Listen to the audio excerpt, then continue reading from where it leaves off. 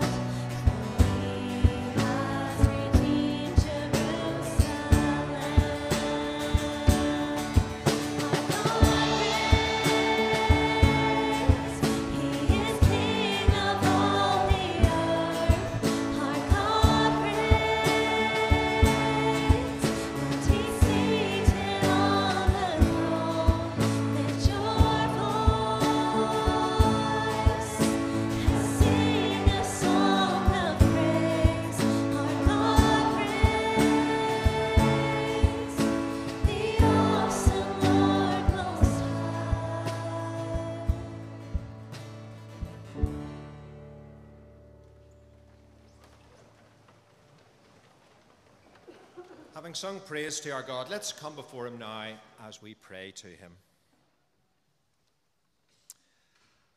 Father, we come into your presence conscious of the enormous privilege we have in engaging directly with you, our Creator, our Sustainer, and the Redeemer of all. God of all that is and is yet to be, we thank you for this amazing world in which we live, for the diversity of the whole of creation, for the different ways in which we can experience what you have made through our different senses that you have given to us. We praise you that you encounter your people in every age, in every place, in every setting. We praise you that you make no distinction between one person and the next. And as we've been thinking about here in Kirkpatrick recently, all are made in your image. We praise you for your faithfulness to those who have gone before us, your faithfulness for us today. And we trust in your faithfulness for what lies ahead for us tomorrow and for generations to come. God, your love knows no bounds, and your mercy no limits. You embrace us, and you offer us forgiveness and healing to all. Father, would you forgive us for the ways when we have discriminated and sought to exclude, whether consciously or unconsciously? Forgive us for the limits and conditions we set on your love, your mercy, and your forgiveness. Forgive us for our lack of imagination that reduces you to simply what we can perceive. Forgive us when we take without thinking and we forget to share without counting. Father, would you fill us with your peace and your mercy? Would you free us from the destruction of our behaviour and restore us to a life lived properly with you? Amen. In our connecting church slot this morning, Monty's going to talk to us uh, about his recent trip uh, to South Korea, uh, where he engaged in the Lausanne Congress there. Monty.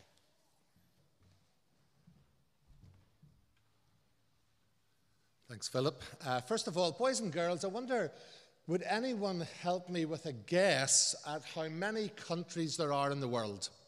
Anybody have an idea of how many countries there are in the whole world? Any hands going up? Yes, shout it out. How many? 152. Good guess. Any others? Yes? What was that? 270. Okay, right. Well, it's somewhere in between that, actually. It's 197 uh, by the United Nations or by the online geography quizzes that I play. Um, but there are other places like Hong Kong and Bermuda and Puerto Rico that aren't countries, but they're territories and they regard themselves as countries. So there's over 200 countries in the world. And this uh, past month, I had the chance to go uh, to Korea to a conference known as Lausanne. And Lausanne is a global non denominational gathering of evangelical leaders. And there were over 5,000 there in person and 2,000 online, of which one was Mark Welsh uh, from our congregation. And it's, they came from over 200 of those countries and territories. And um, it's called Lausanne because back in the 1970s, two well known Christian uh, preachers and leaders, John Stott and Billy Graham, decided to get as many of the church leaders from all over the world together to see what they could do better uh, together rather than apart. Uh, and that birthed the Lausanne, in, they met in Lausanne in Switzerland. And as you can see, it has taken place every 15 or 20 years since then in Manila, then in Cape Town, where Christoph was one of the Irish representatives, if those of you may remember that in 2010, uh, and then just this past month in Seoul in Korea. Uh, I was there representing IFES. There were a number of Irish people there, Yuel Mars from PCI. And the first voice I heard when I went into uh, Belfast City Airport, Oi Monty, was David McCulloch, who has said, if I'd remembered David was planning to be here this morning, I wouldn't be standing here now. Uh, but David was there, and you can talk to him about that afterwards. There was a lot of research went on uh, into the uh, before this all happened, and there was a, a, a very well uh, researched project uh, done called the State of the Great Commission. Uh, and it's been published. And if you're interested in a lot of these topics, it's worth getting hold of. It helped us to see what is the current status of mission globally. Mission used to very much be, you know, people in the West sending missionaries to other parts of the world, but that has changed. So, what is the current status of that? And what are the regional trends around the world that we need to take note of? And there were a lot of findings, and I'm only going to be able to talk about two or three now. But the first one was this that that Christianity is very definitely a global faith. There is no doubt about that. Those who say it's a Western faith, it started in the Middle East and it is now strongest in the, uh, the, the majority world countries. Uh, and so, mission is people from any part of the world going to any other part of the world to spread the gospel. One key phrase, though, that was mentioned by, in, in the first talk was that simply letting people do it in their own country will not be uh, successful in bringing about the Great Commission. Jesus said, Go into all the world. And that's as relevant to us as it is to folks in, in, the, in the Republic of Congo or in Bolivia or in Korea or somewhere else. It applies to all of us. It's, if you like, polycentric. We go out from everywhere to everywhere. So that was one of the things that was definitely emphasized. Uh, also, the real need that there's a hope vacuum and a trust vacuum in our world today. So, how can we, as people of hope and people of truth, help people to be able to trust more and to hope more? And that affects things like radical politics that a lot of people, especially younger people, are turning to, uh, the dissatisfaction with the media. Uh, and elements of trust that are there as to what can you believe and what can you not believe how can we uh, share our message in, in a way that, that shows that it is true and reliable and has integrity. Obviously, the one change from previous Lausanne's is just the massive change in digitalization since the last one. Uh, so, um, what does that mean for mission and for evangelism and the challenges of AI? Uh, and then issues of justice and sustainability uh, and how we interact with those issues as a church. Uh, there were 25 gaps, areas where we need to do better, as the research showed that, and we were put into collaborative tables of people from all around the world to discuss each of these gaps, which, whichever one we were, we were keen to explore, uh, and get perspectives from around the world. And just some of those. The next generation, Generation Z or Z, as they're called, some of whom are in this congregation, uh, learn differently, think differently, relate differently, have different issues. What does it mean for the gospel to be living for that generation? At the other end, there is global aging issue. Uh, you know, what does it mean for us to have a new dynamic mission to those who are maybe in their last decade or so of life as that increases throughout the world? The challenge of Islam, the challenge of corruption and politics, and how Christians in politics can avoid corruption, especially in many different parts of the world. And raising leaders of integrity after so many scandals. What does it mean to raise leaders who just who walk the talk? What are some of the highlights for me? Well, here are some quotes that just uh, I, have summarized them, and uh, I can talk about them later if you wish. Uh, there was an evening on the persecuted church, and all was humbling always really, um, you know, people, who, people who've been in prison for many years for their faith, telling their story. And one speaker said, a per- persecution can never kill the church, but a compromised gospel will. Persecution can never kill the church, but a compromised gospel will. And then there was a powerful testimony of a young woman who had been trafficked, has come to faith, uh, shared her testimony. A lot of this stuff, of course, I can't show you photographs, it wasn't available online. But she said, I'm on a journey of forgiveness, but they need to be brought to justice. So, her real passion to bring the people who are still harming many, many young women to justice, and that her personal story being a powerful, uh, uh, powerful tool in that, in, in that campaign. Uh, gender and sexuality. Uh, Vaughan Roberts of, of Oxford is a well known Bible teacher. He's someone who identifies as same sex attracted or gay as you wish, but he um, holds to the biblical position on marriage and sexuality. And he gave, again, if you want a 10 minute or 12 minute synopsis of why that issue is so important from the voice of someone on the inside, then I can only recommend his 10 or 12 minutes. It's as key a synopsis of the issues that you will find anywhere, and one of the highlights for me. One of his quotes We need to show the better story. Why go to church to hear a dull echo of what you hear every day from the world? And he was going about the fact that we cannot just follow the world in these things. We have a better story and we have a, a, a better uh, message about how we were created and how we find fulfillment and identity. And then in the Middle East, a, a question or a quote from one of my colleagues My body is in Seoul, but my mind and my heart is in Lebanon. Uh, and he was having to deal with daily news from his colleagues and friends as the airstrikes were hitting Lebanon. So, finally, some challenges. Uh, mainly unity and diversity. How can you get 5,000 people from hundreds of denominations and hundreds of countries together round a common message? Well, that's what Lausanne showed to me is that you can.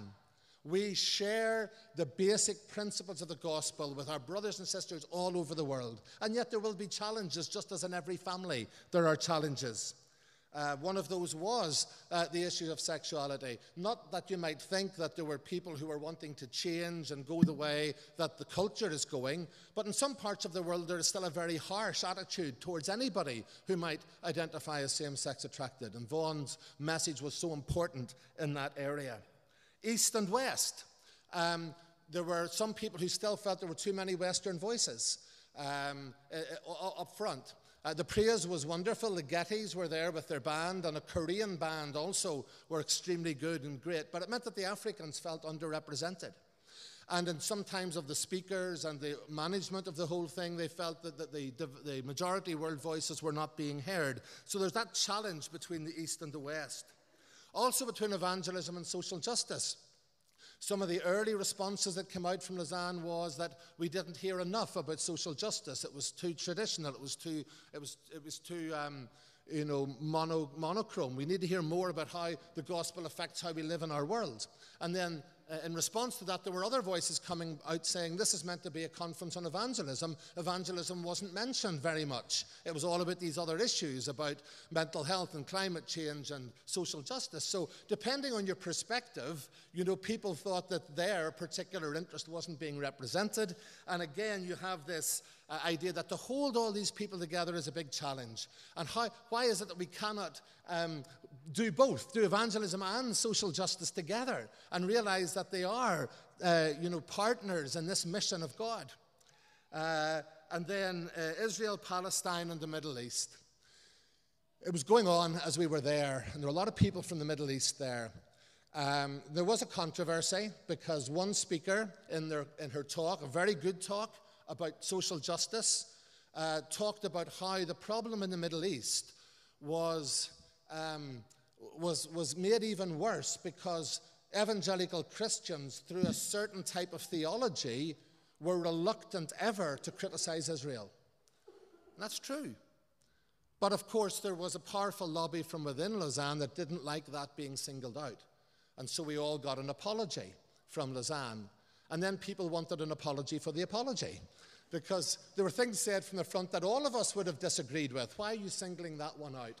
And there was the feeling that there was still maybe one powerful lobby here behind everything that meant that only our issues are those that really matter. And that was very hurtful to our brothers and sisters in the Middle East. And whatever we think about that issue, whatever we think or whatever we think about the politics of it, one thing we cannot ignore, and that is that our Christian sisters and brothers in Gaza and in Palestine and in Lebanon have been killed and are suffering because of what's going on there. And we need to condemn that. And so that, of course, reared its head into this wonderful gathering uh, and reminded us of the brokenness of the world in which we're living. But I don't want that to be a, a negative uh, last comment. I want to finish by saying God is at work. And uh, he's, he's at work through our whole global family. And just two photographs of people I met there. At the top is a young man called Alexei. He's Russian from, from, uh, from Siberia. I know him from IFES. He's no longer in Russia, so it's safe for me to do this. Uh, he's in uh, another part of the world. Uh, but he spoke out after the invasion of Ukraine, and he had to leave very quickly. Uh, and it was just great to have fellowship again with him. And then at the bottom, there is uh, Sophie and Christina, and Christina leads our IFES movement in Greenland. I've never been able to justify uh, the expense of getting from here to Greenland, so it was really nice to go to Korea to meet her. Uh, and I finally got to meet her with her friend Sophie uh, and they were representing Greenland in, in, in, South Korea. And just hearing how her life was changed through the IFES movement that started there four years ago.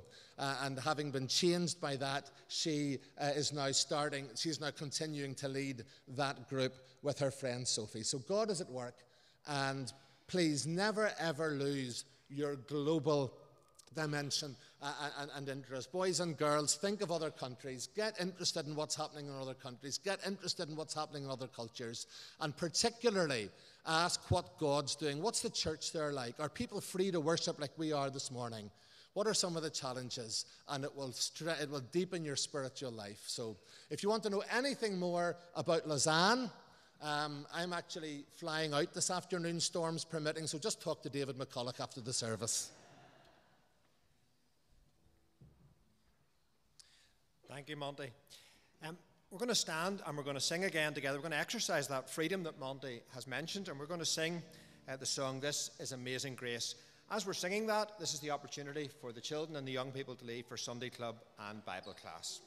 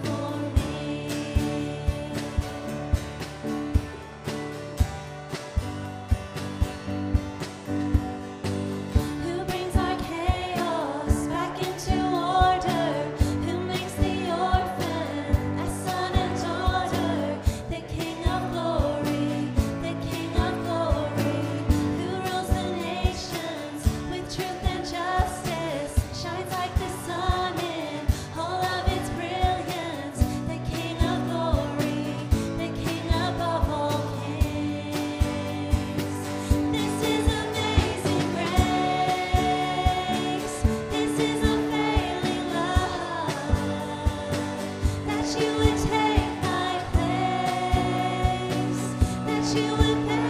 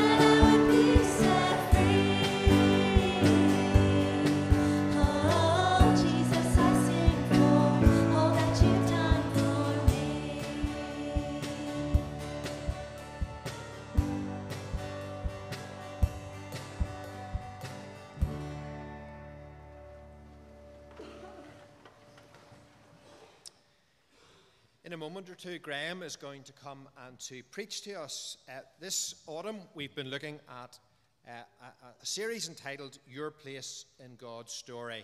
We're looking at some of the big stories and some of the big themes uh, in the Bible. And this morning, Graham's going to preach to us from Isaiah, Isaiah chapter 51. If you want to turn up the passage, you'll find it in your Pew Bible on page 739, 739. We're starting in Isaiah 51 at verse 17 and reading through to chapter 52 and verse 12. So, Isaiah 51, verse 17. It's entitled in this version, The Cup of the Lord's Wrath. Awake, awake, rise up, O Jerusalem, you who have drunk from the hand of the Lord the cup of his wrath, you who have drained to its dregs the goblet that makes men stagger. Of all the sons she bore, there was none to guide her. Of all the sons she brought up, there was none to take her by the hands.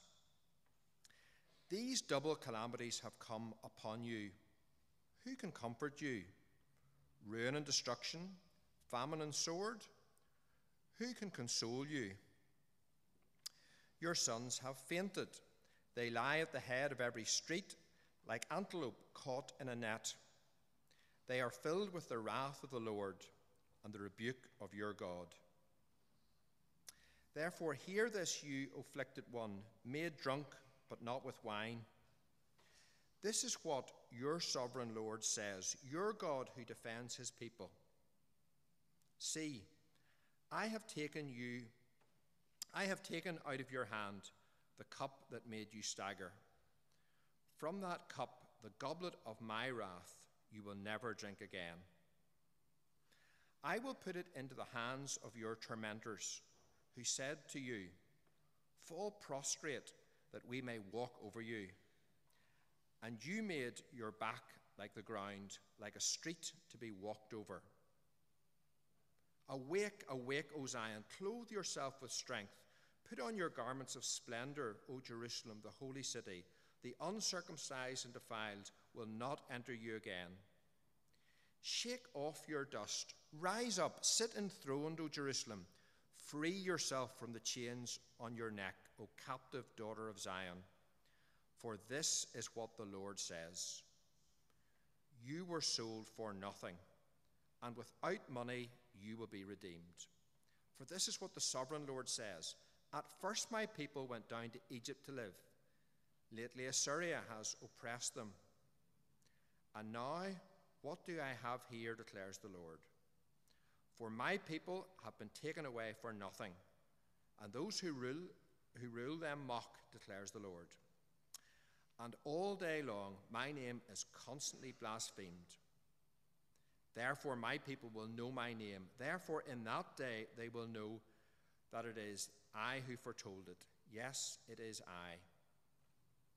How beautiful on the mountains are the feet of those who bring good news, who proclaim peace, who bring good tidings, and who proclaim salvation, who say to Zion, Your God reigns.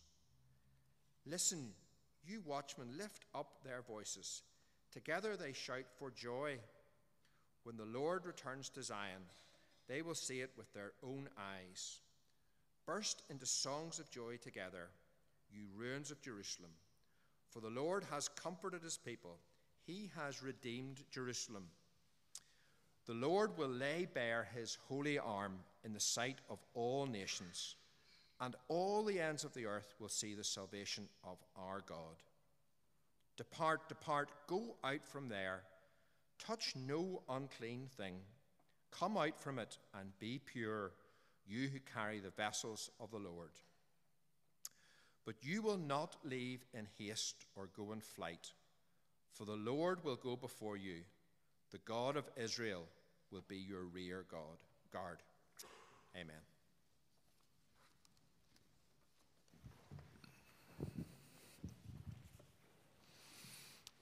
Thanks, Philip. Let's pray together. Lord our God, as we come to your word this morning, we ask that you would Speak to us afresh as you spoke to your people long, long ago through the words of the prophet. Encourage us, equip us, challenge us, confront us, and comfort us. And remind us afresh of who you are. In Jesus' name, amen. Nobody likes a wake up call. A couple of Friday mornings ago, I got a wake up call, a literal wake up call. About 6:15 in the morning, my phone started to buzz. I got up, didn't get to the phone in time, redialed the number, only to be told that the fire alarm was going off down here in church.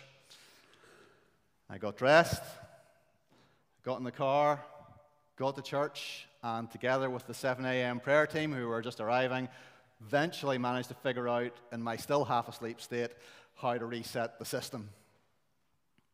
Now, I have to confess that I am not a morning person. So, and this is full disclosure, I'm a less than regular attender at the 7 a.m. Friday prayer meeting. But on that Friday, they got almost my full attention. Nobody likes a wake up call. And they come in all kinds of ways. There is that literal wake up of the alarm clock going off to remind you that you have to get an early flight somewhere. And there are the other kinds of wake up call. There are the less than satisfactory mock exam results that wake you up to how much work you really have to do before the real thing. There is the unexpected medical diagnosis that wakes you up to the requirement for a complete change in lifestyle. Nobody likes a wake up call, but they are sometimes what we need if we're going to face reality, if we're going to make the changes that will help us. The exile in the story of God's people in the Old Testament is a wake up call to his ancient people. And it's a wake up call that was a long time in coming. Way back before they entered the promised land of Canaan, Moses had delivered an address to them, his final address. The last message he shared with them, and it makes up most of the book of the Bible that we call Deuteronomy.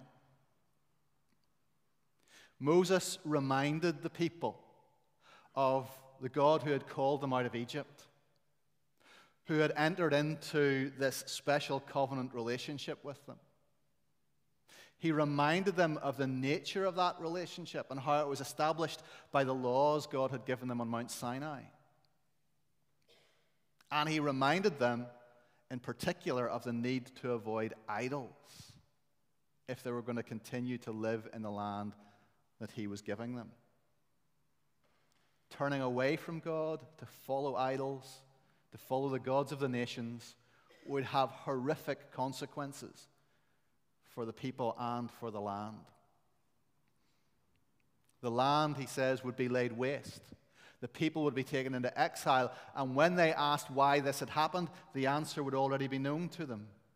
It is because this people abandoned the covenant of the Lord the God of their ancestors, the covenant he made with them when he brought them out of Egypt. They went off and worshipped other gods and bowed down to them, gods they did not know, gods he had not given them. Therefore, the Lord's anger burned against this land, so that he brought on it all the curses written in this book.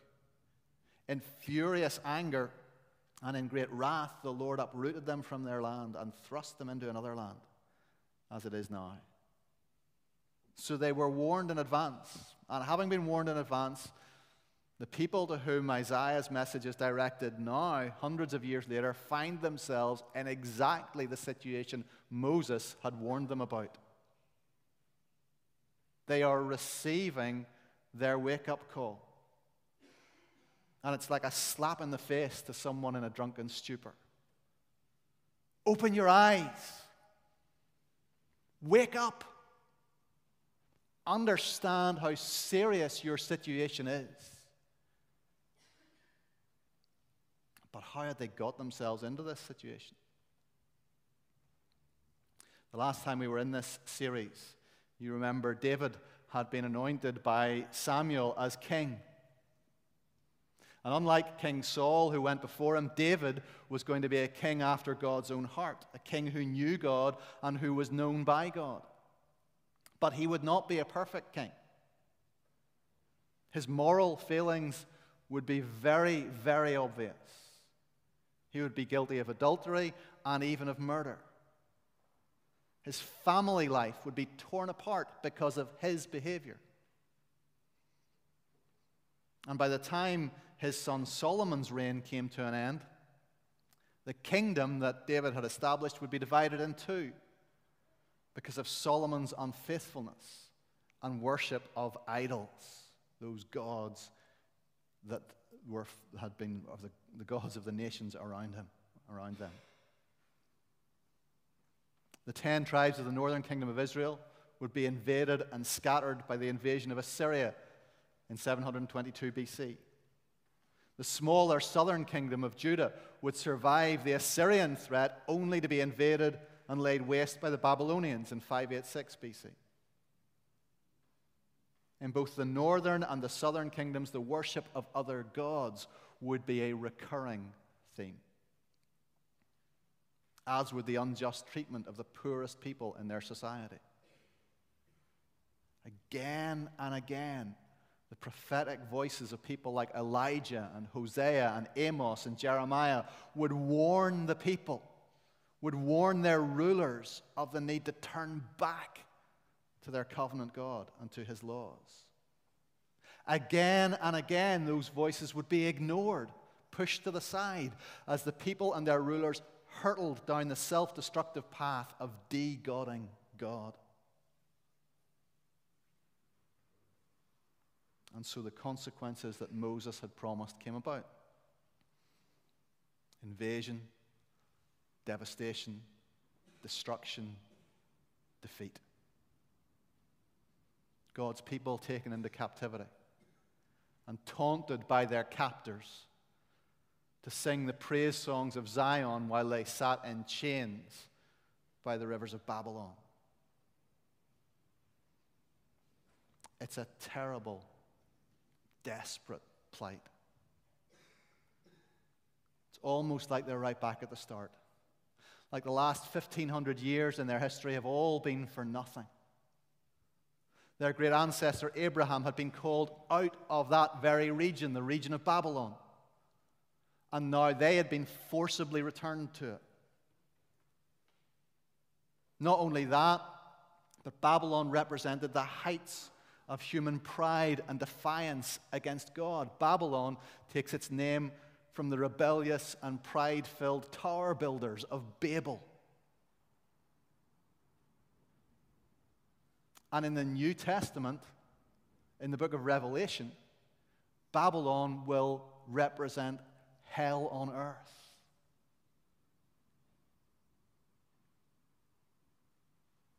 It's a disaster.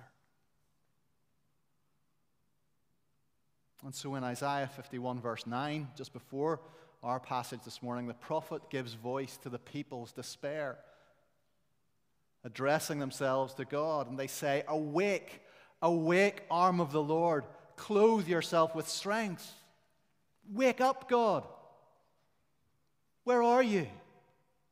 Can you not see the state we're in? Do you not care about your people anymore?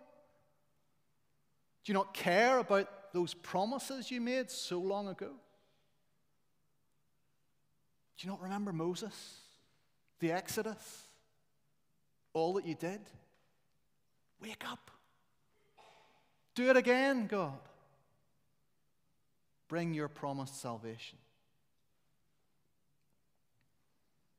And what is God's response to his people? It's you who need to wake up. You are the ones who need to wake up to who I really am. You need to wake up to the nature of the covenant relationship I established with you. You need to wake up to reality.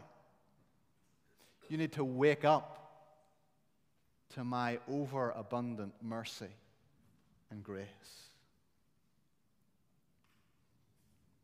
They need to wake up.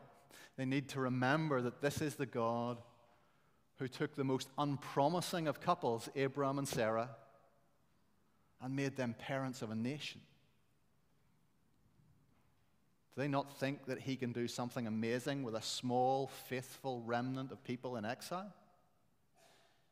Of course he can.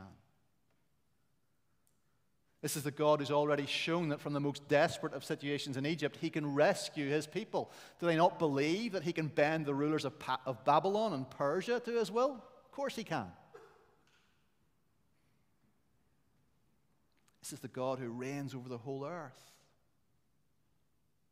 who promises redemption and restoration on a scale that is mind blowing. Do they not believe that he will see his purposes achieved? in spite of their disobedience, in spite of their faithlessness?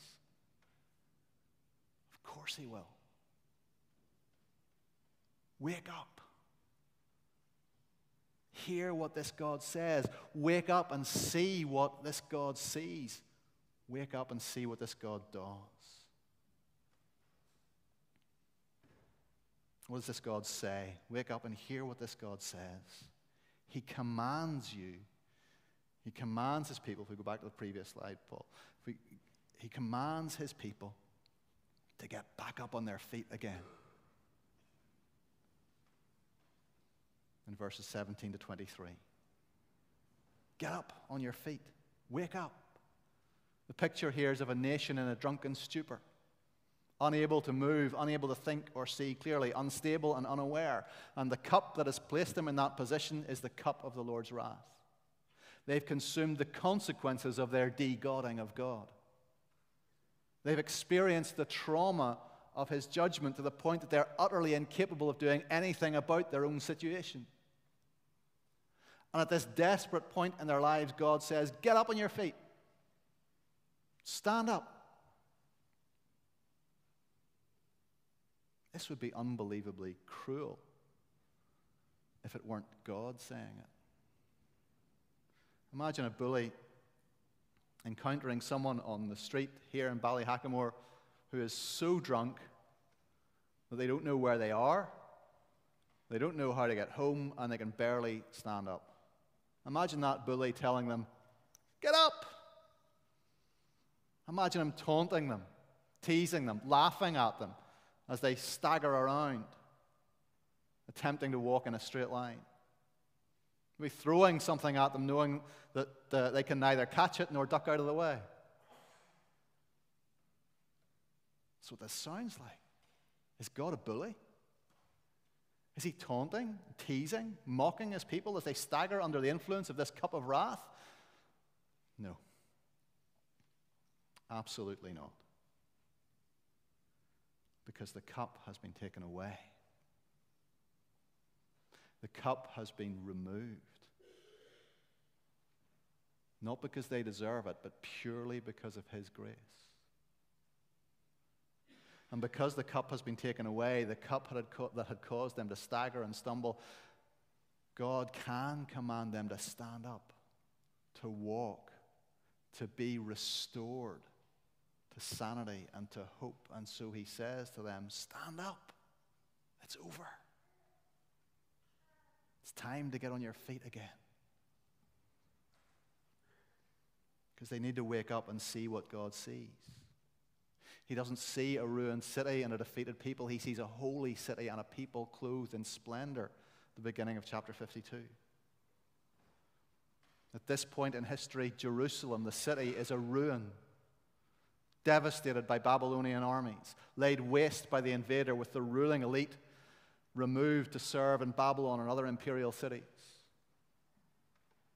When a return eventually happens, it's a return to a city that is in bad shape, with a temple in ruins and no walls to protect them from their many enemies.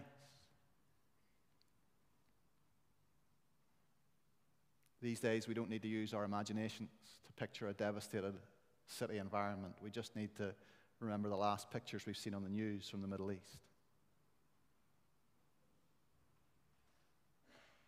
But beyond the rubble and the rags, what God sees is his people. The people he called, the people he rescued, the people he chose to represent him to the nations.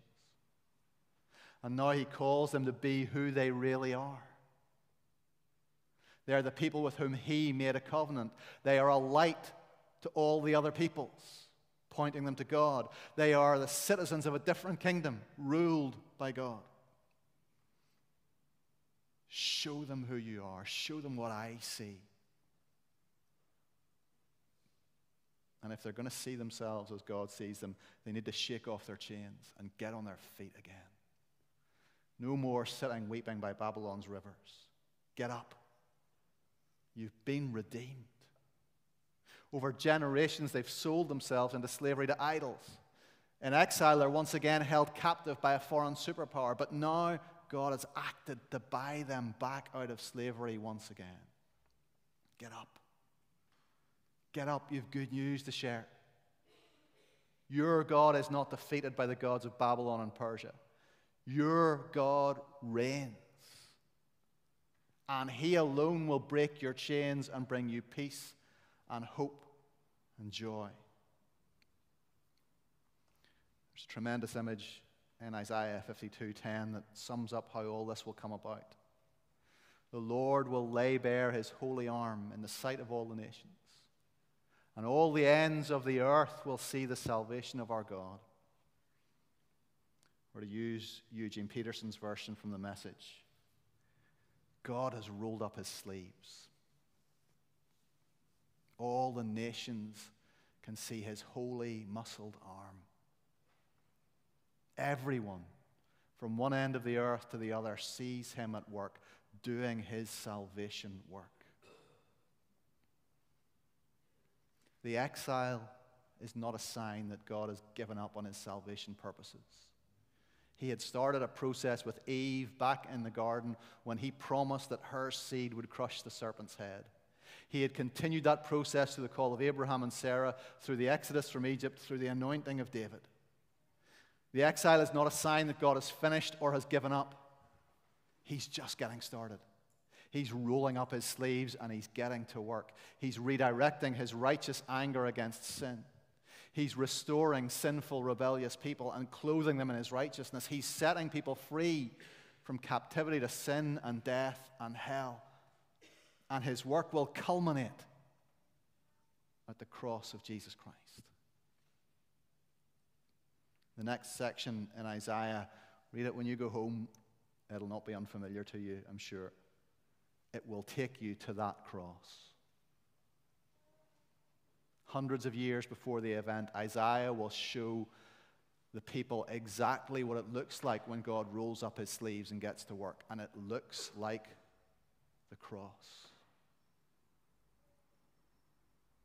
It looks like a suffering servant who will give himself for the sins of the people. And the song of the suffering servant in Isaiah 53 points us to the one who takes our pain, who suffers in our place, who redeems us from our sin.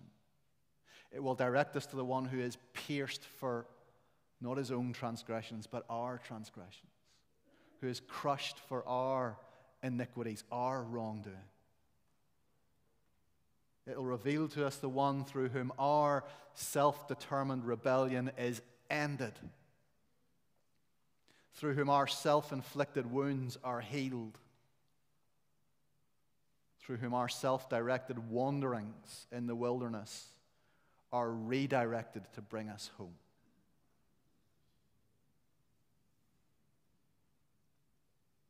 So, what's the wake up call for us today? What's the wake up call for us? Not in exile in Babylon, but here in Ballyhackamore. Do we need to wake up to see the reality of who God is amidst all the competing voices and images that our culture throws at us? Do we need to wake up to the reality that His name is unchanged? Do we need a reminder that He is still the great I am, the covenant God, whose faithful character remains unquestioned as the holy, living, compassionate, gracious, and ever faithful God? Do we need to wake up to that reality again? Do we need to be woken up to the reality that He's still the sovereign Lord who sits on the throne of history, who reigns over all the nations, however much noise and violence and destruction and havoc they might wreak on the earth? Do we need to remind ourselves that He has rolled up His sleeves? That He has subverted the power games of princes and presidents through the death and resurrection of Jesus? do we need to recall or be reminded that the Lamb who was slain is also the Lion of Judah who sits on the throne of history? Do we need to wake up afresh to the knowledge that at the cross he achieved redemption for all nations, all peoples, from all the world to all the world? Do we need to wake up to a world that needs to hear that good news? That God really does reign.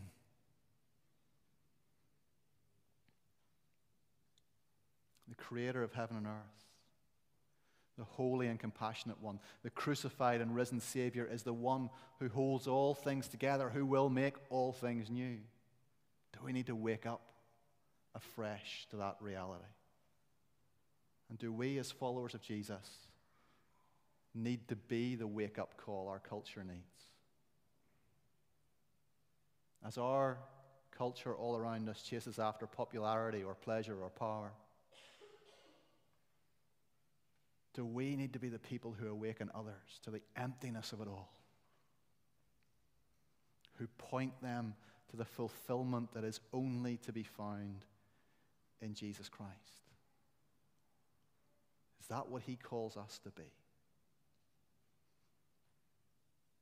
Is it time for us to wake up? Is it time for the church to be the wake up call our culture needs? Is it time to point those around us, wherever we are, to find liberty and life, peace and purpose in Jesus? Nobody likes a wake up call. But Isaiah and the other prophets give us a wake up call we cannot afford to ignore. Wake up. It's a new day. Wake up. It's time to come home to the one who loves you and who gave himself for you. Will you wake up today? Let's pray.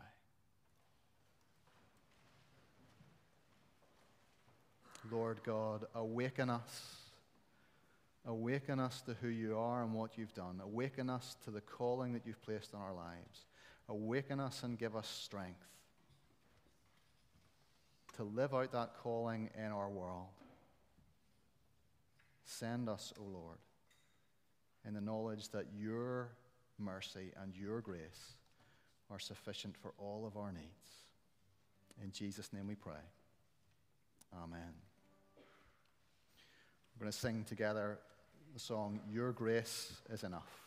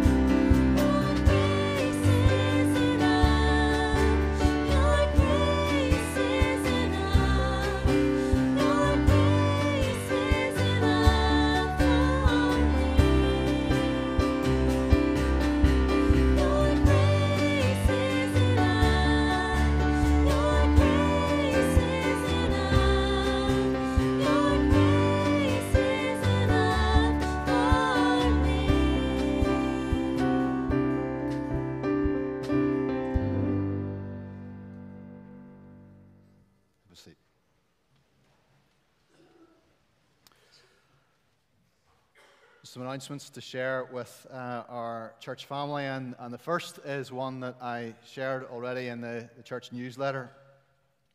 Uh, and so you, most of you will know this already that one of our oldest members, Stanley Mills, uh, died on Thursday evening.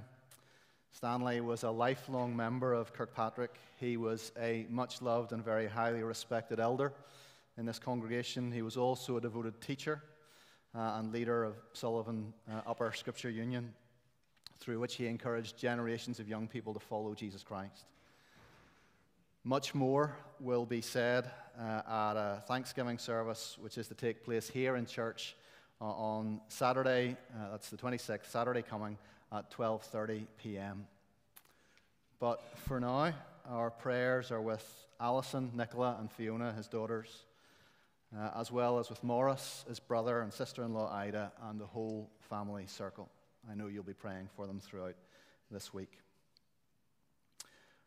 One of the uh, organizations that Stanley started in Kirkpatrick was the Friendship Club, and Friendship Club meets this Tuesday at 3 o'clock. Uh, when they will be having a guest speaker from Prison Fellowship, and I'm sure we'll also be uh, remembering Stanley. On Thursday evening uh, at 8 o'clock, we're having our prayer time together as a whole church family. I encourage you to come and make the time for that Thursday evening at 8 o'clock.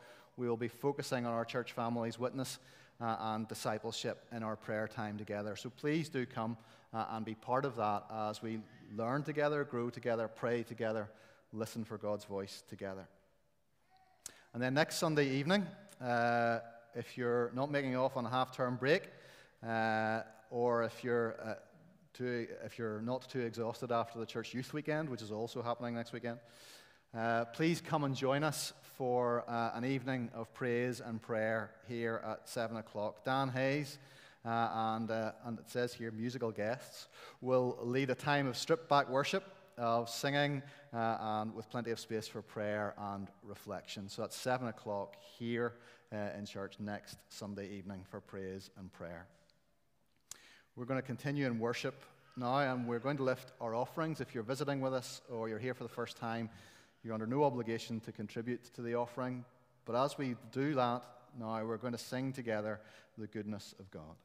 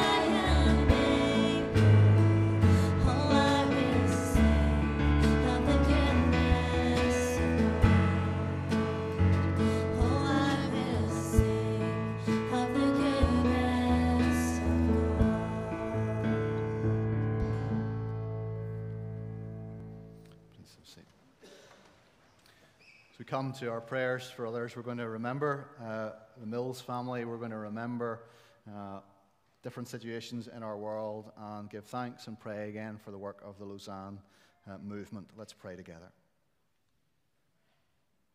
Lord our Lord, you rule over heaven and earth.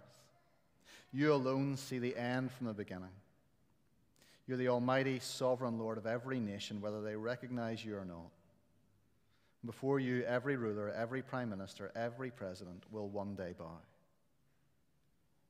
You're the all seeing, compassionate, gracious God who knows all about our suffering, all about our pain, and who sees the least of these who suffer the most in our world.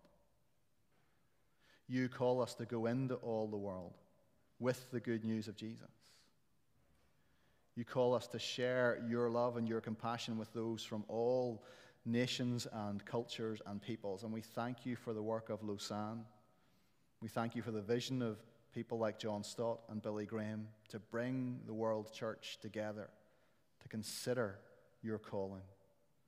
And we pray for those who have been in Seoul over these last days and for those who return home to all the various contexts and situations in which they find themselves, that they will go encouraged with the good news of Jesus on their lips with the desire to build up the church in his name.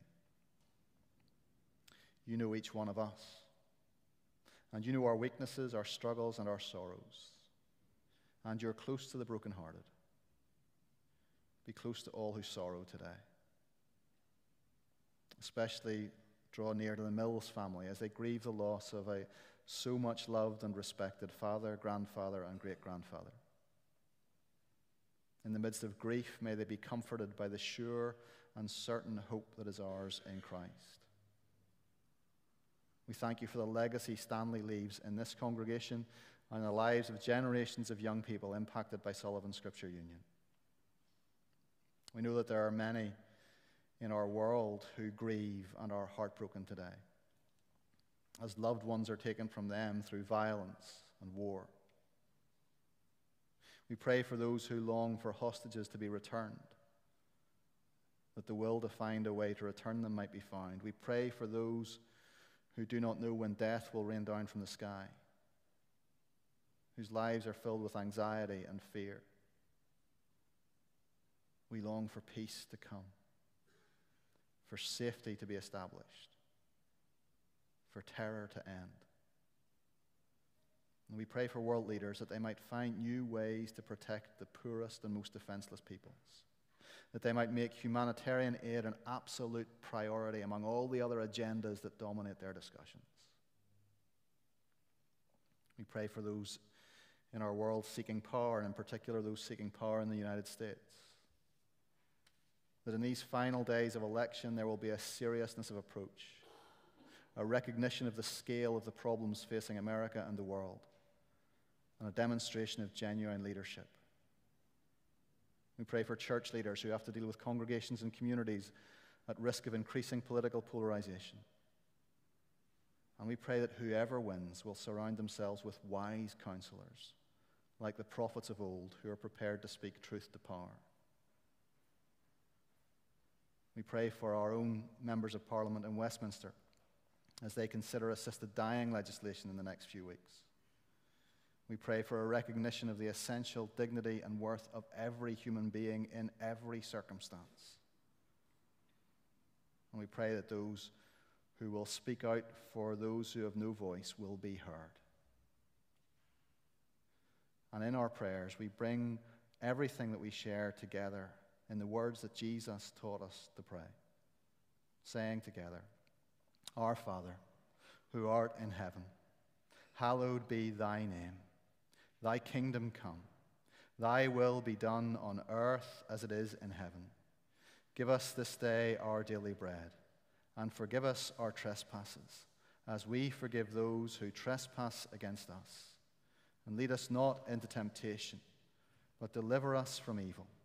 For thine is the kingdom, the power, and the glory, forever and ever. Amen. Conclude our service as we sing together a hymn of hope, a hymn of comfort, a hymn of strength. Christ, our hope in life and death.